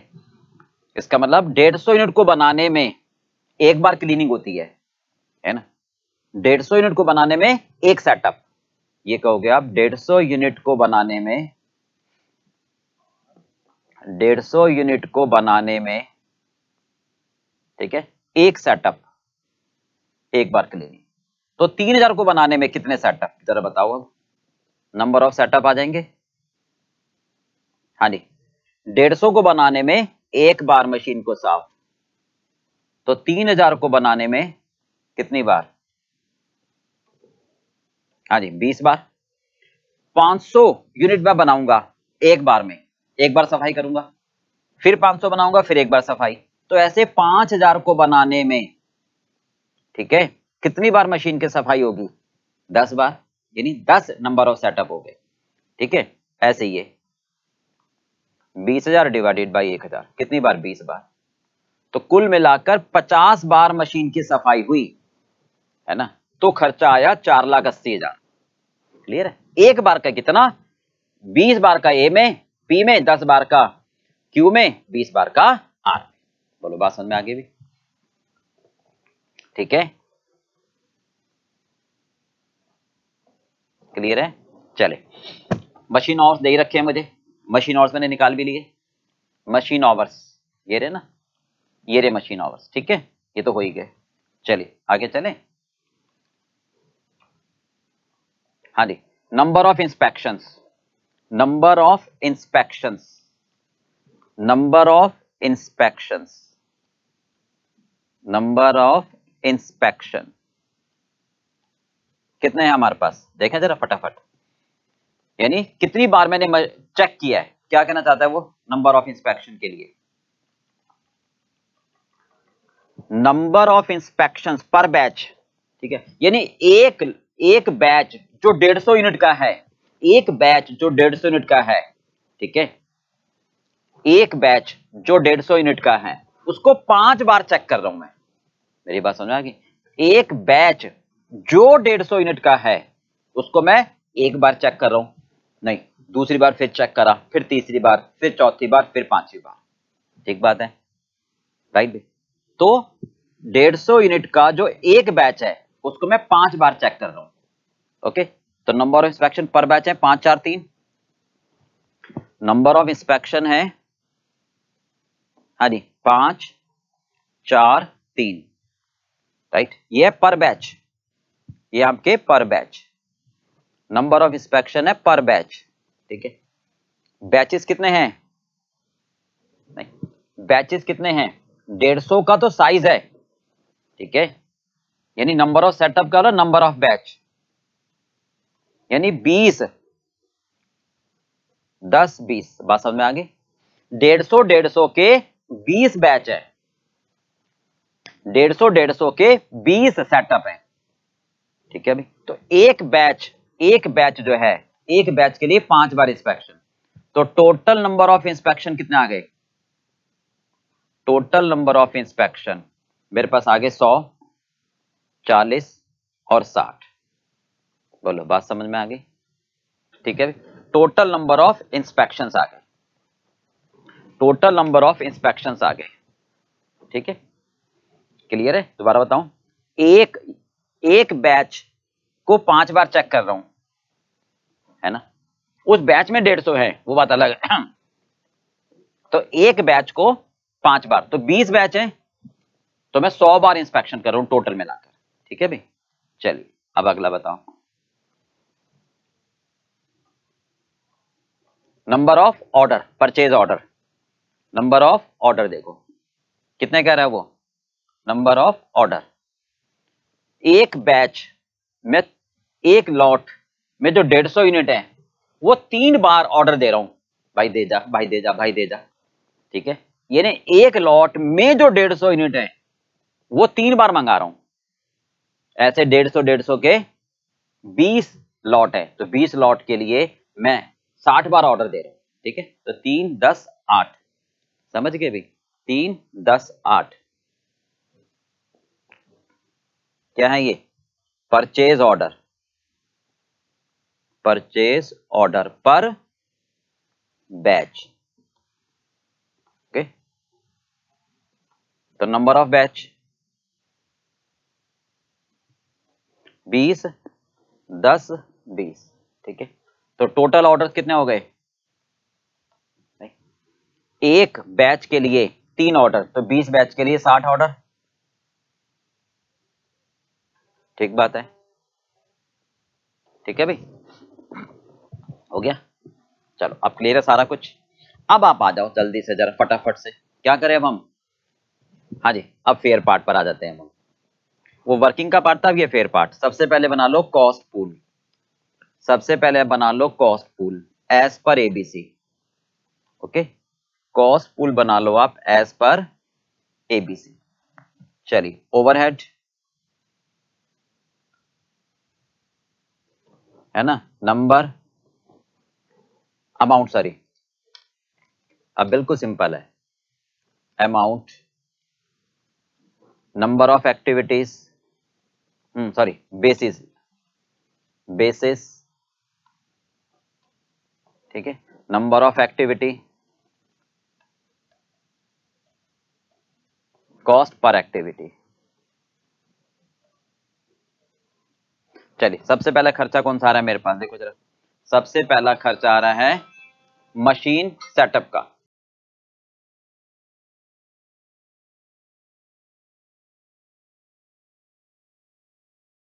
चलिए, अब कॉस्ट का सबसे पहला ओवरहेड हमारे पास कौन सा है? हाँ जी, सबसे पहला ओवरहेड आपके पास आ रहा है हाँ जी मशीन सेटअप कॉस्ट है ना? तो यही ले लें हम। Machine setup cost machine setup cost. ठीक है? एक बार आप ध्यान से धीरे धीरे पढ़ना, जल्दबाजी मत करना कि आप फटाफट देखो। एक बार अच्छे से समझ में आ गया, फिर आप रेल बना सकते हो। और समझ तो आई एक बार, वो धीरे धीरे आएगा। सेटअप का बोला क्लीनिंग। ठीक है? अब ऊपर देख लेते हैं, क्लीनिंग का खर्चा कितना है। पहले यहाँ से नोट कर ले फटाफट से। जल्दी। मशीन सेटअप का खर्चा। है ना? चार लाख अस्सी हज़ार सात बीस नौ साठ दो चालीस। चार अस्सी, सात बीस। चार अस्सी, सात बीस। ठीक है? सात बीस। नौ साठ। है ना? और दो चालीस। और दो लाख चालीस हज़ार। चलिए, अब नाम देख लो, फटाफट से, जल्दी से।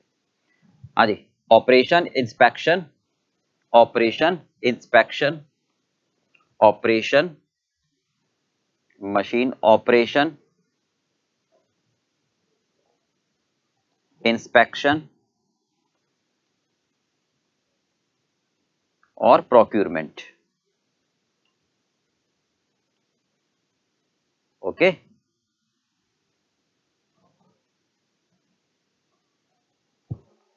ठीक है, चलिए, टोटल मिलाकर कितना आ रहा है ये? हाँ जी, बोलो। सात, आठ हज़ार बारह और नौ इक्कीस तेईस, चौबीस लाख। चलिए। अब बताओ बेसिस मशीन सेटअप का खर्चा कैसे बांटोगे? नंबर ऑफ़ भाई मशीन को साफ़ किया तो कितनी बार? Number of times machine was clean यानी number of setup number of setup एक एक करके समझते हैं आप। कितनी बार मशीन को साफ़ किया? कितनी बार मशीन को साफ़ किया है? है ना? ठीक है? बीस बार, दस बार, बीस बार, पचास बार। कुल मिलाकर सर जी, कुल मिलाकर सर जी, पचास बार मशीन को साफ़ किया है। ठीक है? पचास बार मशीन को साफ़ किया है। तो जिसमें से बीस, दस, बीस बीस, दस, बीस। इसको ऐसे दिखाना है, कोई दिक्कत नहीं है। यानी 20 बार P के लिए 10 बार Q के लिए, फिर 20 बार R के लिए। तो 50 बार के लिए चार लाख अस्सी हज़ार। बहुत सिंपल सी बात है। 50 बार मशीन को साफ़ किया है पूरे पीरियड में, चार लाख अस्सी हज़ार। तो एक बार मशीन को साफ़ करने का खर्चा बताओ कितना आएगा, है ना? ठीक है A divided by B cost per activity तो चार लाख अस्सी हज़ार डिवाइडेड बाई पचास। तो ये आ गया नौ हज़ार छह सौ रुपए। कितना आ गया?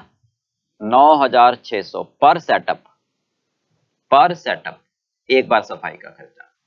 तो नौ हज़ार छह सौ इंटू बीस। नौ हज़ार छह सौ इंटू बीस। ठीक है भाई? कहाँ चला जाएगा ये? पी में। नौ हज़ार छह सौ इंटू दस क्यू में। नौ हज़ार छह सौ इंटू बीस आर में। मैं हाथ की याद करता हूँ ना, ताकि समझ आता चला जाए। कॉशीट डायरेक्ट प्रोडक्ट पर डालते हैं हम इसको बर्डन डायरेक्ट प्रोडक्ट पर डालते हैं। ठीक है भाई? तीन प्रोडक्ट है मेरे पी क्यू आर ओके? अब जल्दी से। कॉशीट यानी मटेरियल ठीक है? फटाफट देखो जरा क्वेश्चन में। मटेरियल ये तो दिया ही होगा। मटेरियल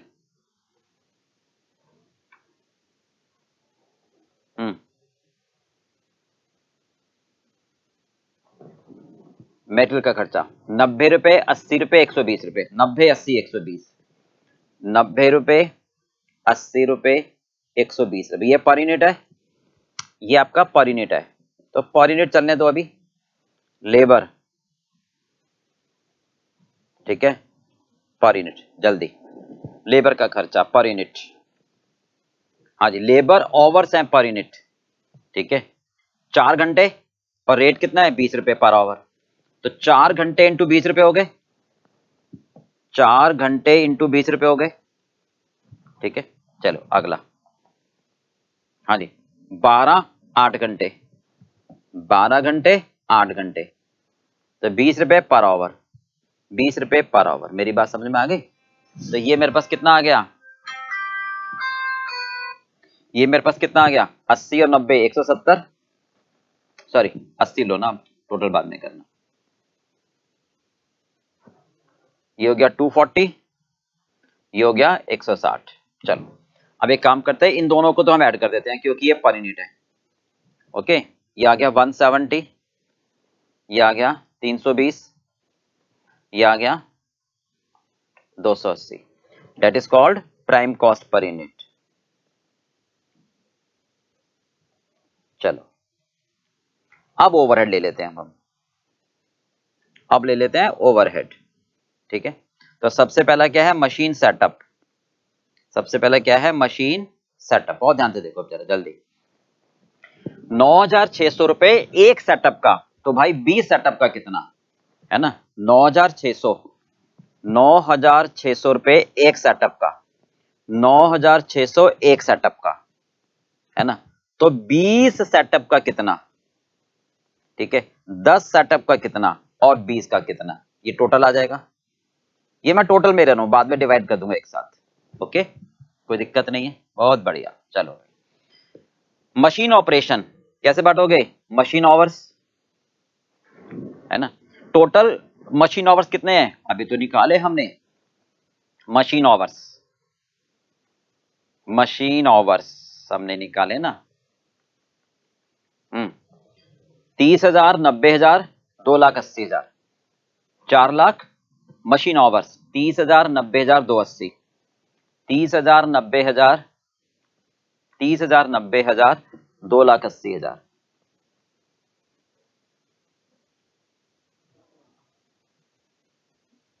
ठीक है? तो टोटल मिलाकर कितने घंटे आएँगे? चार लाख। है ना? तो चार लाख घंटों के लिए सात बीस आया। तो एक घंटे पर कितना खर्चा आया? ठीक है? सात लाख बीस हज़ार का खर्चा आया है। हाँ जी। चार लाख घंटों के लिए। तो एक घंटे के लिए कितना आया? एक रुपए अस्सी पैसे पर मशीन ओवर बिल्कुल ठीक है।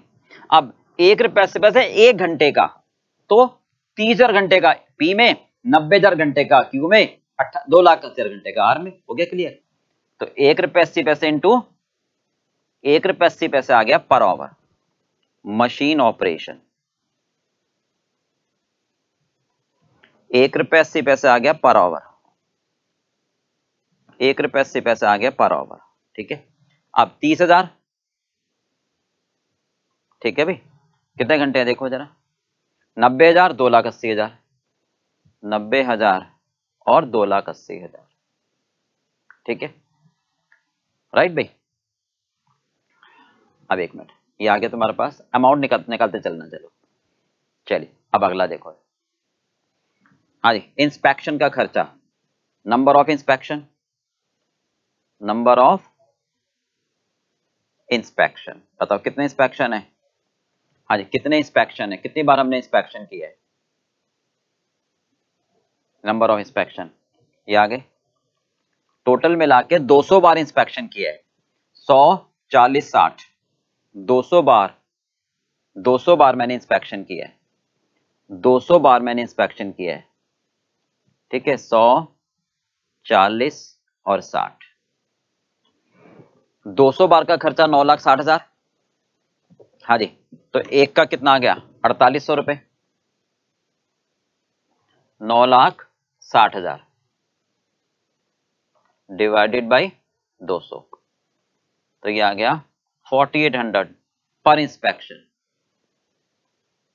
okay तो सौ इंस्पेक्शन का खर्चा हाँ जी, सौ इंस्पेक्शन का खर्चा पी में तो अड़तालीस सौ इंटू सौ, अड़तालीस सौ इंटू सौ inspection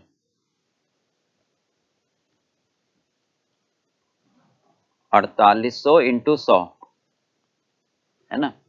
Forty eight hundred into forty eight hundred into कितना आ रहा है?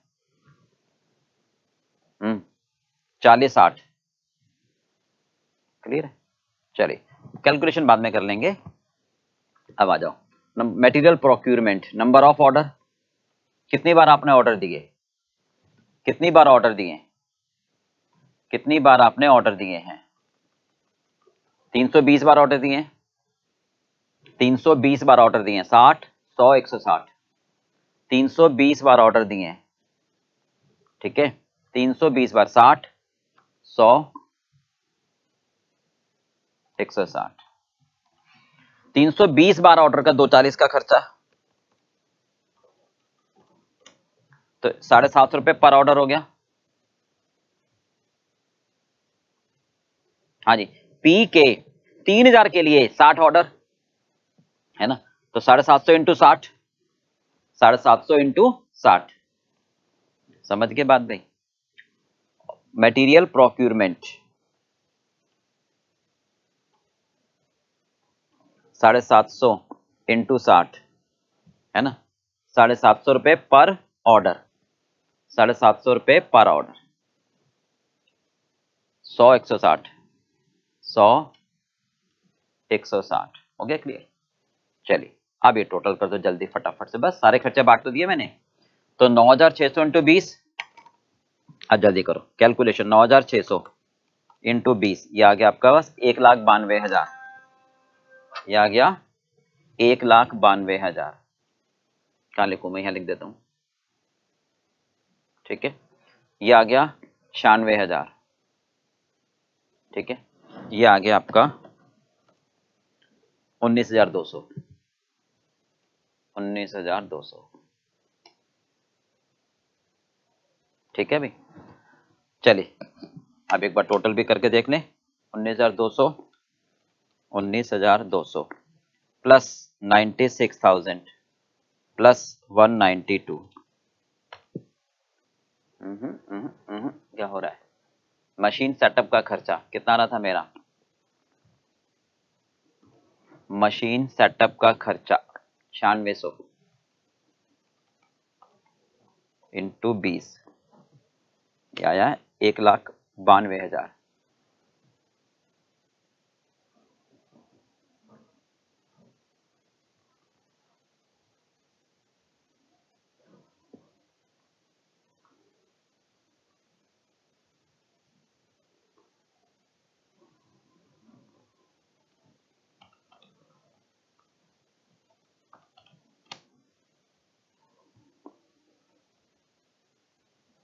अब एक बार अगला करें, फटाफट करो। एक रुपये अस्सी पैसे इंटू तीस हज़ार। हाँ जी one lakh sixty two thousand और दो अस्सी। पाँच लाख चार हज़ार। अब एक बार टोटल कर लो इनका। ठीक है? पाँच लाख चार हज़ार प्लस एक बासठ। प्लस फिफ्टी फोर थाउज़ेंड तो ये हो गया सात लाख बीस हज़ार। ये हो गया आपका सात लाख बीस हज़ार। चलिए, अब ये हो गया आपका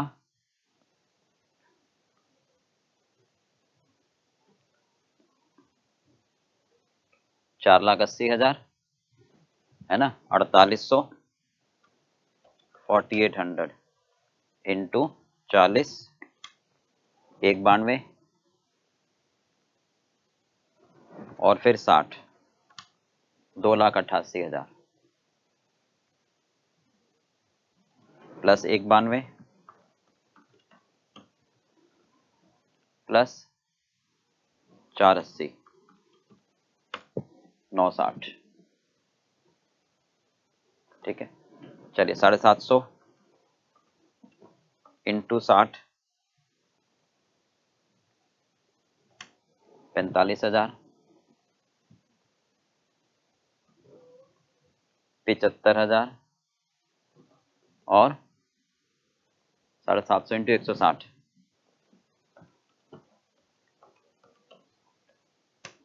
आ गया एक लाख बीस हज़ार। ठीक है? प्लस पैंतालीस हज़ार, प्लस पिचहत्तर हज़ार, दो चालीस। चलिए। हाँ जी, कितने हो गए? चालीस दो चालीस, प्लस नौ साठ, प्लस सात बीस, प्लस चार अस्सी। ठीक है? चौबीस लाख हो गए बराबर। चलिए, अब फटाफट जोड़ते चले जाओ, जल्दी से। हाँ जी पी में कितने आए? एक लाख बानवे हज़ार, one lakh ninety two thousand, ठीक है? Plus fifty four thousand, plus चार अस्सी, प्लस पैंतालीस हज़ार। तो ये आ गए सात लाख इकहत्तर हज़ार। ये आ गया आपके सात लाख इकहत्तर हज़ार। एक बार कैलकुलेशन पर बस आप ध्यान देना है। आज छियानवे हज़ार प्लस एक बासठ plus one ninety two plus पिचहत्तर हज़ार। पाँच पच्चीस। ठीक है? हाँ जी one lakh ninety two thousand plus पाँच लाख चार हज़ार plus two eighty eight plus एक लाख बीस हज़ार। ये आ गया ग्यारह लाख चार हज़ार। ग्यारह लाख चार हज़ार। चलिए, ग्यारह लाख चार हज़ार प्लस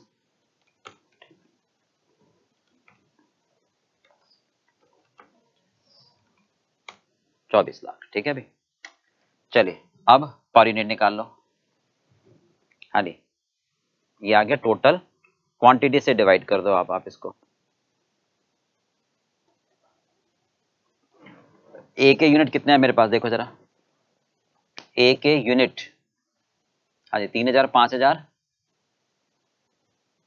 बीस हज़ार।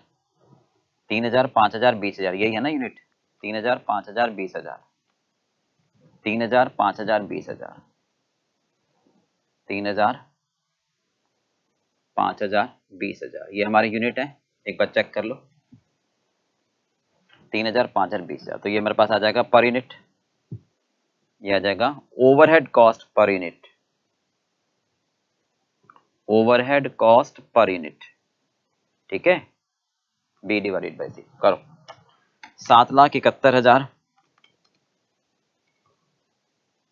डिवाइडेड बाई तीन हज़ार आ गया two fifty seven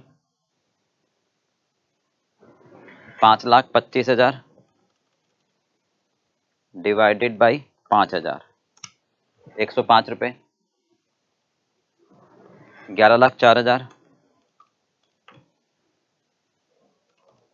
divided by बीस हज़ार. तो ये आ गया पचपन रुपये बीस पैसे. ठीक है भाई? चलिए, अब टोटल कॉस्ट निकाल लो per unit total cost per unit इसको मैं लिख देता हूँ डी ठीक है? यानी ए प्लस डी कितने आई थी पर यूनिट एक सौ सत्तर रुपये प्लस दो सौ सत्तावन. एक सौ सत्तर रुपये प्लस दो सौ सत्तावन. तो ये आ गई चार सौ सत्ताईस रुपये पर यूनिट हाँ जी, तीन सौ बीस रुपये मेट प्राइम कॉस्ट आई थी ना प्लस एक सौ पाँच. चार सौ पच्चीस। दो सौ अस्सी प्लस पचपन रुपये बीस पैसे। तीन सौ पैंतीस रुपये बीस पैसे। हो गया क्लियर चलिए, अभी हो गया मेरे पास। हाँ जी एबीसी का। ओके, चलो एक बार इसको नोट कर लो फटाफट से। जल्दी। चलो बेटा, अब हमें फ़र्स्ट पार्ट क्या पूछ रहा है? कॉस्ट पर यूनिट बताओ। ट्रेडिशनल मेथड से, यानी सारे खर्चे मशीन ओवर से बांटने सारे खर्चे मुझे मशीन ओवर से बांटने बिल्कुल सिंपल है। तो हम क्या करेंगे? हाँ जी सेकेंड पार्ट में आ जाओ। डायरेक्ट ले लें। Statement of cost statement of cost ठीक है? As per traditional method as per traditional method तो देखो प्राइम कॉस्ट तो सेम होती है हमेशा। उसमें कोई दिक्कत नहीं है। तो वो आप एज इट इज़ ले लो। Prime cost prime cost per unit कितने आ रही थी? देखो जरा फटाफट से। 170 320 280 170 320 280 ले लें। 170 320 और 280 रुपए पर यूनिट यही था। है ना? अब आता है ओवरहेड्स यहाँ पर सारे खर्चे आपको मशीन ओवर्स के हिसाब से बांटने हैं। तो बिल्कुल सिंपल है। सारे खर्चे कितने हमारे पास? सारे खर्चे कितने चौबीस लाख हैं। सारे खर्चे हमारे पास हैं कितने? हाँ जी, सारे खर्चे, चौबीस लाख है ना? एक बार ऊपर चेक कर लो। सारे खर्चे, चौबीस लाख के तो हैं। कैसे बांटोगे? Machine hours total machine hours कितने हैं हमारे पास? चार लाख। है ना? तो रेट भी आ रहा है। नहीं नहीं नहीं लेबर लेबर सॉरी लेबर वो कह रहा है सारे खर्चे ट्रेडिशनल में कैसे बांट रहे हैं हम? हाँ जी। हाँ नहीं मशीन आवर्स के हिसाब से बांट रहे हैं। मशीन आवर्स के हिसाब से बांट रहे हैं। तो टोटल मशीन आवर्स कितने आ रहे थे मेरे पास? वो देख लो आप। टोटल मशीन आवर्स चार लाख रुपए। है ना? तो बेसिकली रेट दे ही रखा है उसने वैसे तो। बेसिकली अगर मैं बात करूँ तो रेट तो दे ही रखा था। छः रुपये पर आवर तो यहीं से डायरेक्ट कर लो, आपको ज़रूरत ही नहीं है। छः रुपये पर आवर ओवरहेड का खर्चा कितना है? छः रुपये per hour per machine hour छः रुपये पर मशीन आवर छः रुपये पर मशीन आवर नहीं तो एक बनाने में कितने घंटे लग रहे हैं वो देख लो। हाँ जी, दस, अठारह, चौदह। दस, अठारह, चौदह। यहाँ से कैलकुलेशन आ जाएगी साठ रुपये 108 चौरासी, ठीक है बेटा? चलिए तो ये मेरे पास कॉस्ट आ गई। दो सौ तीस रुपये हाँ जी, चार सौ अट्ठाईस रुपये और ये आ गई आपकी तीन सौ चौंसठ रुपये ठीक है? ये आ गई total cost per unit as per traditional तो दोनों में फ़र्क आ रहा है? पी की कॉस्ट दो सौ तीस रुपए आ रही है ट्रेडिशनल से, जबकि एबीसी से चार सौ सत्ताईस रुपए आ रही है। है ना? क्यू की कॉस्ट चार सौ अट्ठाईस रुपए आ रही है, जबकि यहाँ चार सौ पच्चीस। ये तीन सौ चौसठ, जबकि यहाँ तीन सौ पैंतीस। तो ये डिफरेंस इसलिए आ रहा है क्योंकि क्योंकि पी प्रोडक्ट में एक्टिविटी ज़्यादा कंज्यूम हो रही है। पी प्रोडक्ट में एक्टिविटी ज़्यादा कंज्यूम हो रही है, और एक्टिविटी के हिसाब से खर्चा है। इसलिए हमारा फ़र्क आ रहा है। ओके बेटा क्लियर चलो, अब इसको नोट कर लो एक बार। राइट